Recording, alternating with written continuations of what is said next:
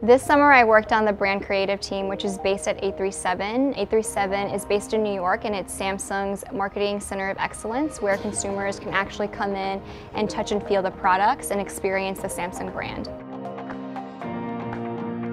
Being part of you know, a team that's crafting the story, you know, shaping Samsung as you know, the next level emotive brand and building some of those consumer engagements and consumer relationships has been really rewarding. I've had a really, really fun experience at Samsung.